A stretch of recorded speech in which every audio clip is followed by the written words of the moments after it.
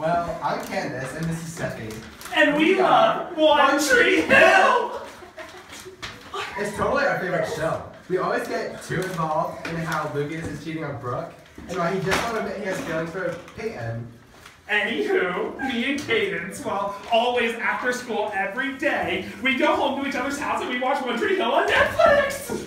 Okay, so the other day, Steffi comes up to my locker and asks me if she wants to come over and watch One Tree Hill. And I said okay. And I said okay, And I said okay. and I said okay. And we said Okay, okay, okay, okay!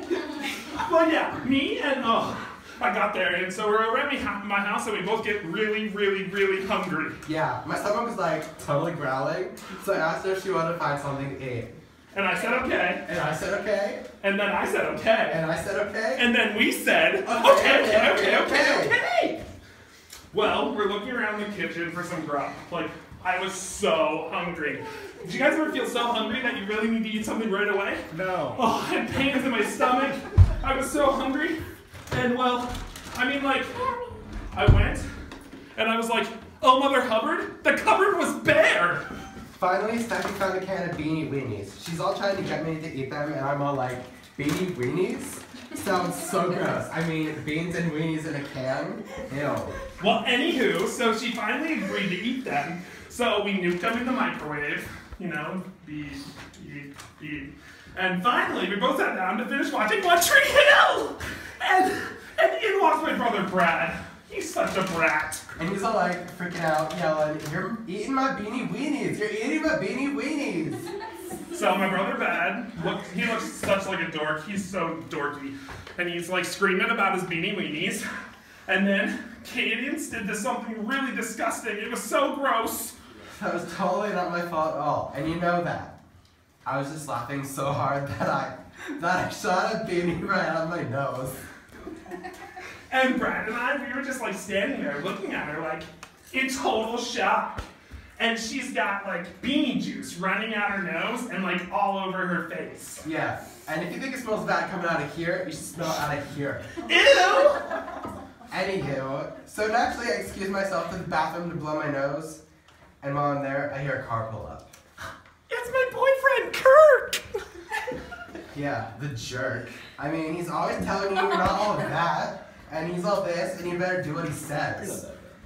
Stephanie totally knows how I t- uh, feel about their relationship, and even though I never push my thoughts on her, I just always tell her I'm there for her and I'm praying for her. So Cadence was there for like quite a while, but then she kind of stuck her head out the door and gave me this beanie's gone sign, you know, like, caca, caca! I just sat back down on the couch to wait. Then I saw a bowl of beanie weenies and thought, I don't think so, and set them aside.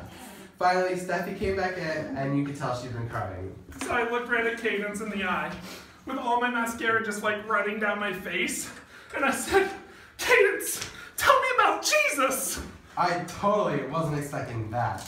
But I pulled myself together, gave her a tissue and the mascara out of my purse, and said that he was a guy who lived a long time ago, and he wore long robes and American Eagle sandals. And I was like, no, serious! And I said, serious. Serious! So I told her everything I knew about Jesus, and I asked her if she wanted to become a Christian. And I said, no, no, no. I mean, I just don't know if I'm ready. I really don't understand, like, what it all means. Besides, my mascara made me look like a reject from the metal bands that Zach listens to. And, and, and well, to talk to Jesus looking like this? I was like, tear. Well, anywho, the next day at school, I run up to Cadence and I'm like, guess what?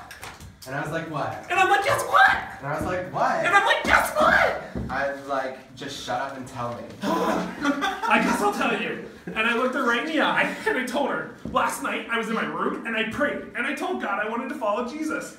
I mean, it's so great. Before I went to sleep that night, I was praying and I was like, God, I just wanted you to know that I'm here and you can use me however you choose. And I want to be like you. And I'm open and stuff. And and I want to do whatever you want me to do, God. And God said, okay. And obviously I said okay. And then God said okay. And then we said okay, okay, okay. And then I said, P.S. God, next time can we just leave the beanie weenies all out of it? And that's the end of the story. Bye. We gotta go watch One Tree One Tree Hill, that's my favorite. Oh, Lucas. No way, Nathan's better. Uh, definitely Lucas. Okay, Skills is obviously better than that. I want me some chocolate. Let's go. One tree